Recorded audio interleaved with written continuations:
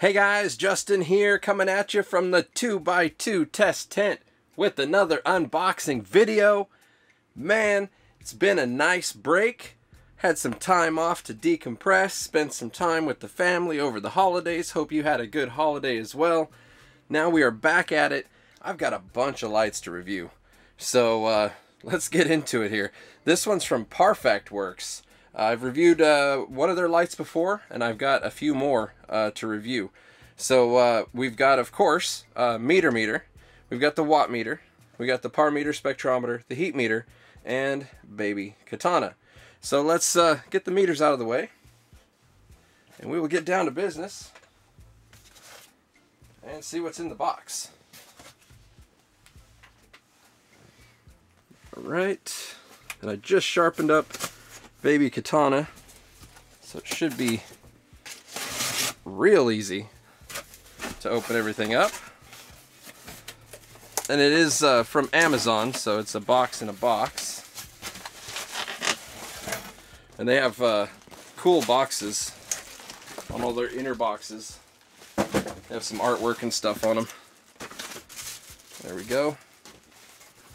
So this is the uh, PAR 1200 Pro, looks like. It's got the Pro sticker. So right on the outside here, um, I really hope that it has this, I really hope that it has that on the board, because that would be actually really cool. And it says it has Samsung LED, passive cooling, dimmable, slim design, full cycle, three year warranty. Straight on the box. I like that. Open it up. We got Stop Looking and Grow With Us. Uh, all right, so uh, then you've got, uh, what's this guy here? Daisy Chain. So you got your daisy chain options. Some recommendations, uh, hanging height tips for the different stages.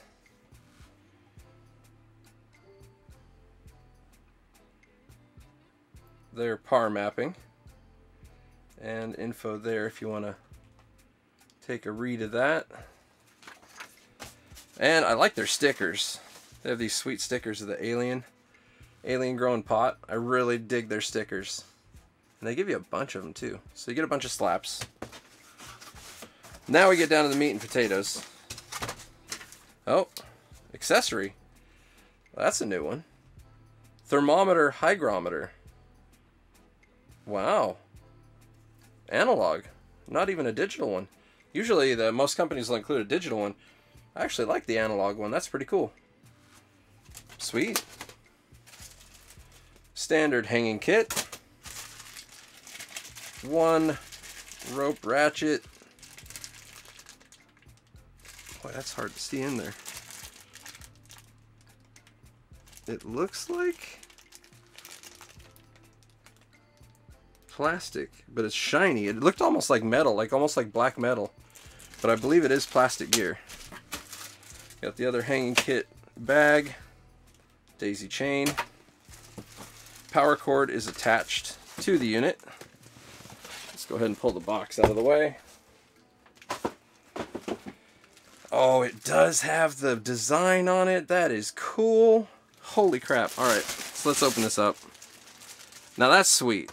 More companies need to do that, I think. You could have like different artists like submit their designs.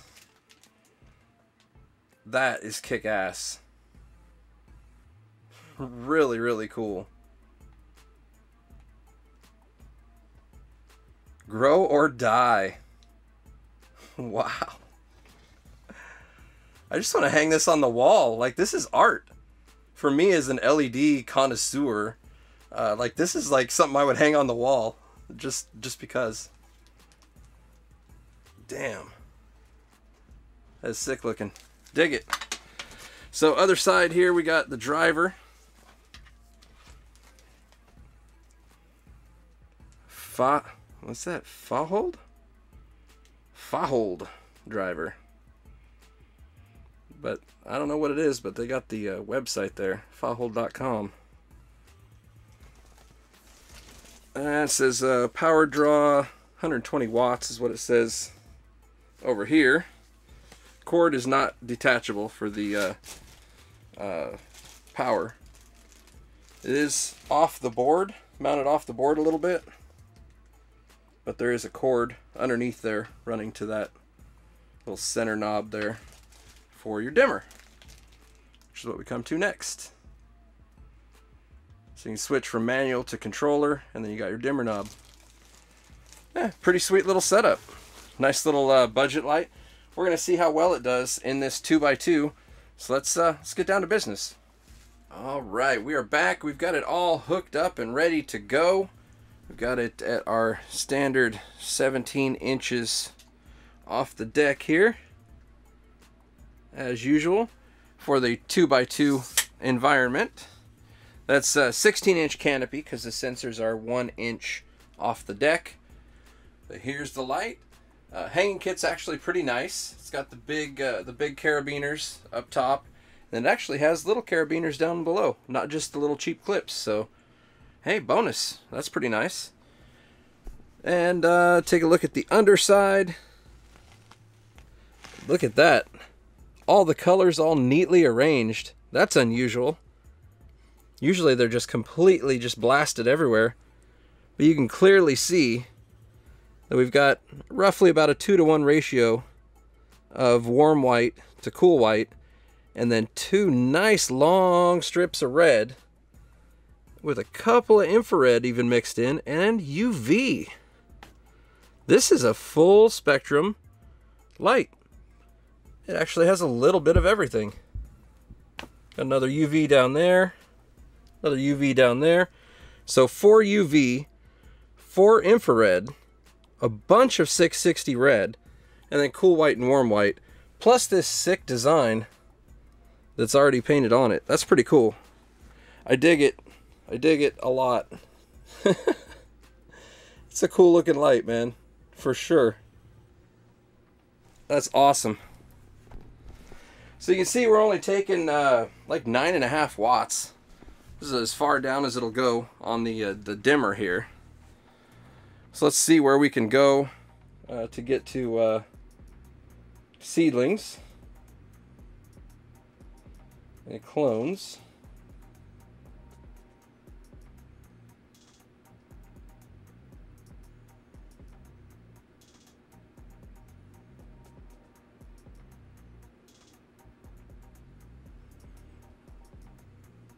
Almost there. All right, it's about one, 120-ish, somewhere in there. 110, 120. So that's going to put us at already at about 60% on the dimmer.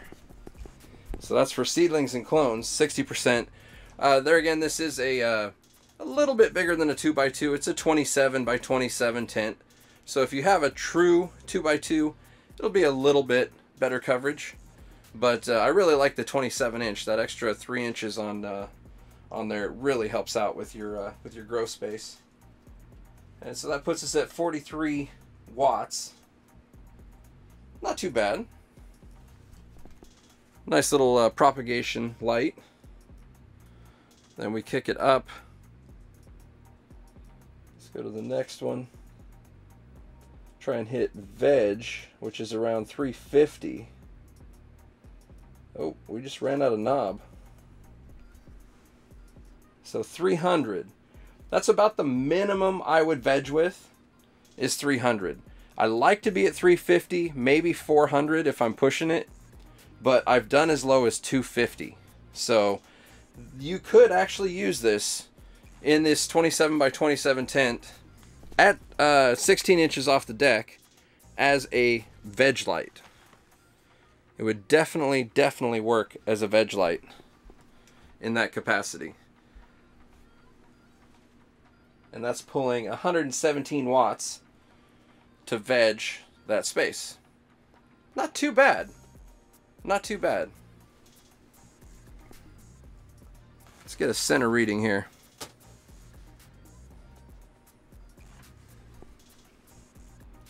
Oh, 570 in the middle. So you're basically in flower territory there for the middle. Try this edge over here. 365. See, that's a nice veg veg range right there. Try the far far side here. 355. Yeah, I mean it's it's a really good veg light actually. Over there, 350. Yeah. 27 by 27 veg light. Um, I would go with this, man. That's pretty cool. Now you could uh, drop it down a little bit and it would uh, increase the, the flower intensity in the middle, but it's not really going to increase the the outer corners very much because you're just getting at a at a steeper angle. So less diodes are actually going to end up overlapping into that space. So a lot of times, a lot of people say, "Hey, move it down and it'll and it'll do it." it. It just won't, or move it up and it'll do it. It just it just doesn't. If you move it up, it's further away from the space, and then the inverse square law gets you. If you move it down, then it's too much of an angle uh, for the for the diodes to really hit and overlap too many diodes over there. Because the lower that you have it, the the lower amount of diodes are going to be able to overlap to that space. So this is uh, about where I think I would uh, I would keep it. You could flower with it if you wanted to in a 2x2, I think. Uh, since it's 570 in the middle, and a, a true 2x2 is going to be a little bit closer in you could probably get away with flowering with it and get a decent result. You're not going to get overwhelming result, but you're also only using 117 watts with this kit here. So, I mean, it's not very much power. Not very much power at all. This is really, really nice looking light though. I like how they have the uh, the diodes just separated by color. It looks really cool. Like I said, you just don't see that that often. Awesome. So uh, let's uh, let's bust out the, uh, the, spectrometer here, and let's. Speaking of the uh, diode color, let's go ahead and uh, test that. We'll see what kind of uh, kind of a spectrum it's laying down. There we go. You can see that bump down there for UV. A little bump up there, 740 for infrared. It's got quite a bit of red. It's got that 660 spike. Their 660 spike is just about as high as the rest of everything else. It's really good. Got some blue in there for veg. It's a really complete spectrum. And there's on 822 ppfd. This meter's uh, five inches tall, so it is going to read higher. Um, there we go. There's the makeup. I guess if you want to drop it down five inches, I mean, here's the this meter right here. So let me check a, uh, if I can get even all the way to the corner here without blocking too much light. Try to get my hand out of the way. Oops, I hit a button. Quit. All right. We're to see how that works. 269. Didn't really help. Let's try over here. Can get my hand out of the way better here. So that's essentially lowering it by four inches. 232. Not really helping. But the center reading, the center reading slamming. 824. So, killer. I love this meter. so awesome. So all that's left to do now is uh, let it warm up and uh, see what kind of heat readings we get. Imagine it's not going to be too terrible. It's not running a lot of wattage. It's only 100 watts. Nice little, uh, nice little veg lighter. If you want to grab a couple of these, uh, you could definitely uh, use multiple ones of these in a space. And since you can daisy chain them together, you can control them all by one dimmer. So pretty cool. And they're not too expensive either. But let's go ahead and uh, warm it up. Alright, so I've let this warm up for about an hour or so. So let's uh, take a look and see what we can see here. Looks like hotspot 145 right under the driver.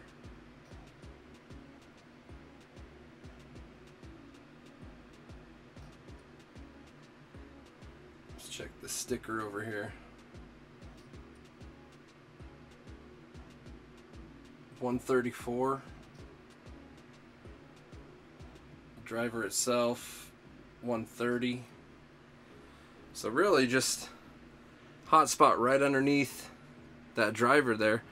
If you could pop that driver off, that would uh, that would help alleviate that, of course, somewhat. But other than that, not uh, I mean pretty standard as far as the uh, the heat test goes. Not too crazy. Good shot at the, uh, the underside again here. Yeah, this would be a, a really good uh, veg 2x2 light or possibly like a, uh, a really ultra budget 2x2 flower light like ultra ultra budget. Just maybe like a plant or a couple plants preferably one plant. But uh, yeah it's not a bad little light.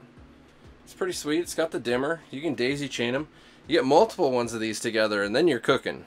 Then you are cooking. So yeah, hopefully you guys enjoyed the uh, review. Uh, click the links below. Got the uh, discount codes down there. And uh, as always, till next time guys, happy growing.